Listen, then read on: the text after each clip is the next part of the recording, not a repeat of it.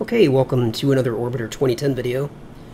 And in this video, we're not actually going to do any flying. In this video, I'm just going to offer a brief explanation for how to do a fairly basic task. Sometimes when you arrive at a, a target body, could be Mercury like I have in this case, or it could be Io or Ganymede or whatever, you know, one of the other moons you'll find that there's no uh, base to land on when you get there. You know, here we are at Mercury. This is just a default Mercury, you know, as it is out of the box. And if we target and go to spaceports, you'll see it's empty. There's nothing there. So when I click the uh, right arrow, it doesn't do anything because we don't have a base here on Mercury. Now, one thing you could do is uh, search the internet, go to maybe orbit uh, orbit hangar and possibly find a base for Mercury.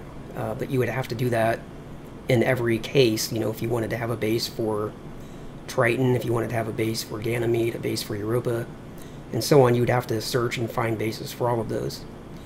What I find I like a lot better when I just need a quick, simple solution and I'm not overly concerned about cosmetics and the way it looks, is I will just simply make a copy of Brighton Beach on the moon and I'll put it on the body that I want to go to.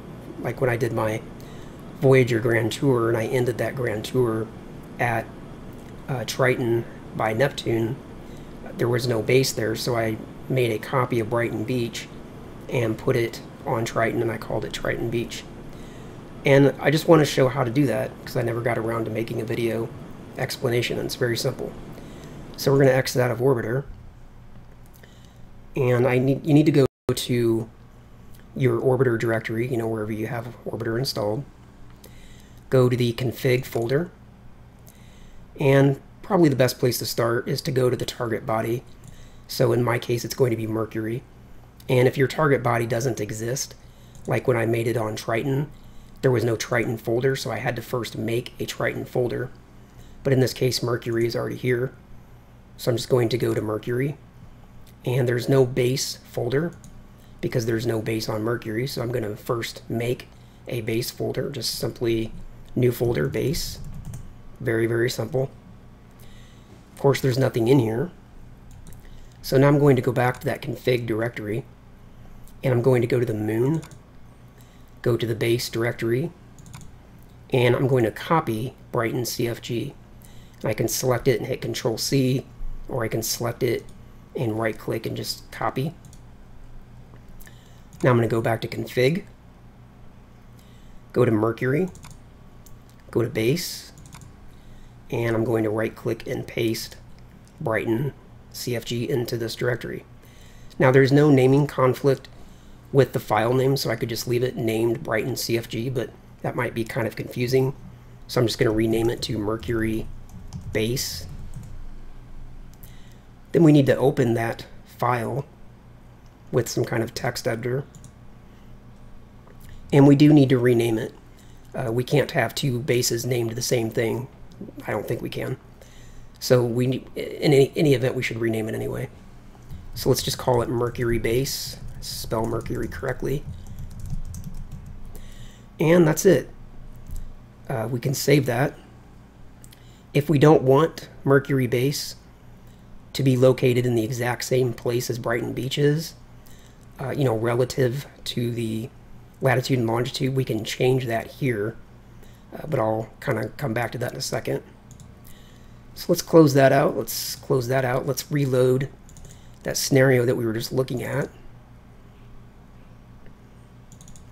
And let's see what we have now that we've put a base on Mercury.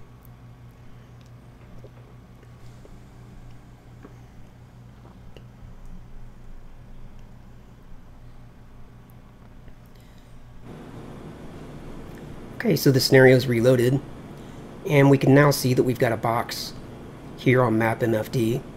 So if I go to target, spaceports, I now have a base that I can target. And if I bring up, you know, let's just say base sync MFD, I can type tar you know, target Mercury base now. And it can shows me how far off I am from that base. So this that's all there is to it, believe it or not. You know, all your MFDs will automatically uh, just know that that base is there. And if we want to take a look at the base, we can press Control F1, go to Spaceports, find it in the list, hit Apply. And of course, just like normal, just mouse around and you can see the base. And this is exactly, uh, this is an exact copy of Brighton Beach. It's just now placed here on Mercury, at least, well, this is a copy of it. Of course, the, the Brighton Beach is still on the moon, but this is just a copy of it, so it just gives us a target. So that's all there is to it. I'll go back to the Delta Glider. Now again, if we don't want our base to be here, uh, this is the coordinate of Brighton Beach, so since we copied Brighton Beach, then Mercury base is at the same place on Mercury as Brighton Beach would be on the moon. And if we would rather have our base be more equatorial for some reason, which would probably make a little bit of sense because, at least I think it might make sense, I'm not sure. But at any rate, we can do that very easily. Let's go back out of Orbiter and let's take a look at this uh, file again. And I want to start just by making a copy of this location line.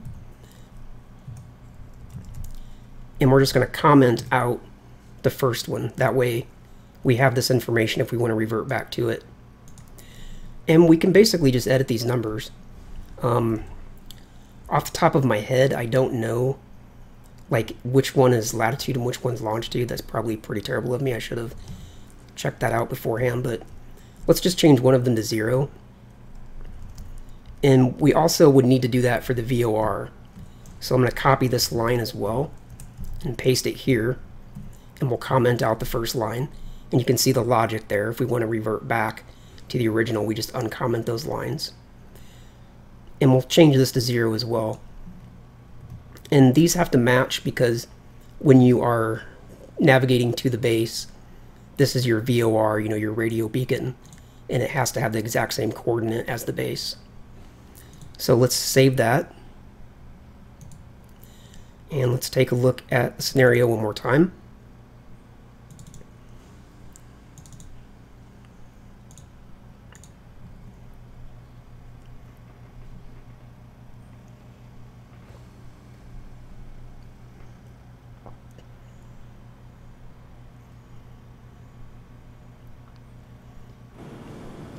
and you can see the base is moved. So it appears that the first line is the longitude and the second line is the latitude. So if I had set the second line to zero instead of the first, then the base would be down here. But instead I set the first one to zero, and of course the zero longitude is this middle section here. So that if you want to have a different latitude and longitude, just simply edit that number in the file, and that's all there is to it. Very, very simple. Uh, if you like this video, go ahead and leave a comment down below, and I will see you next time.